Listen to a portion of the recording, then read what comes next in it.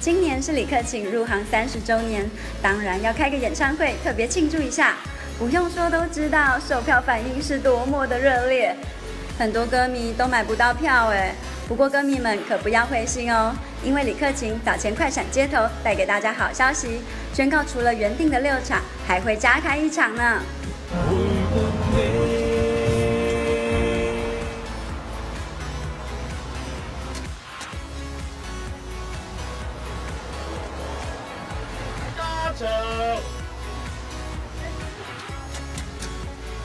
那一次很很好玩，因为其实那那天晚上本来我们就在开会，就在开演唱会的 meeting，然后突然间他们说，哎，呃，其实票卖的不错，然后我们在呃礼拜五要加多加一场，然后我就说，呃，你要不要拍一些东西，然后在网络上面去去播，去宣布这个消息，啊，然后大家都说，哎，其实就不如出去玩一玩，就在你的广告牌之前就做这样的一个一个搞笑的事情，呃，蛮好玩的，因为那个时候真的有一些市民在在等车，所以就他们也觉得很 surprise。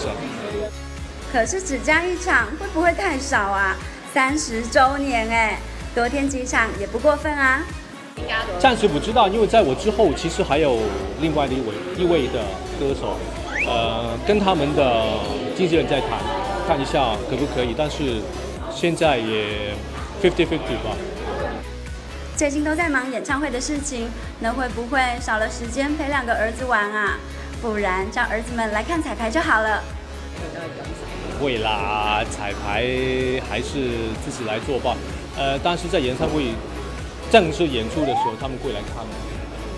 之前已经带他们去了外国玩了几天，所以其实这这一段的时间。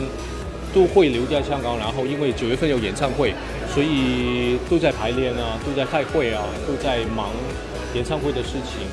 嗯，上个礼拜又呃多加一场，然后就就在忙这些东西吧。忙归忙，身为爸爸的李克勤，当然无时无刻都想着小孩啊。昨天出席抗毒的宣传活动，也不忘买球送儿子呢。对啊，因为其实我也常常去他们的那些学校里面的活动啊，因为。儿子是念国际学校的，所以他们其实蛮欢迎家长去跟他们一起去参与，所以其实也有很多这样的机会。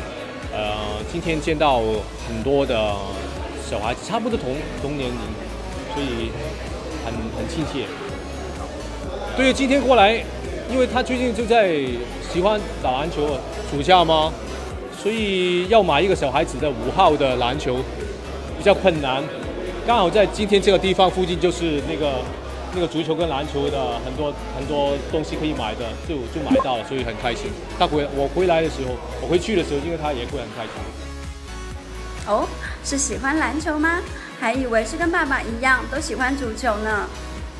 踢足球也有啊，因为这一段时间，呃，很多比赛都停了，然后呃，如果是 outdoor 的话，可能会太热。所以其实篮球也不错，在在印度嘛。这个爸爸还真够细心哎！香港报道。